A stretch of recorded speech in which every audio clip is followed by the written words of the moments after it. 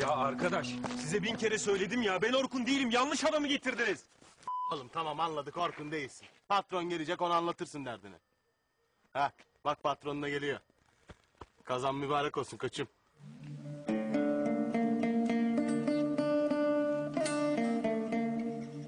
Abi getirdik Orkun'u.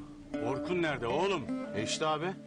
Otelde odada yatıyordu. E biz de tuttuk getirdik kolundan. Salak herif. Bu Orkun değil.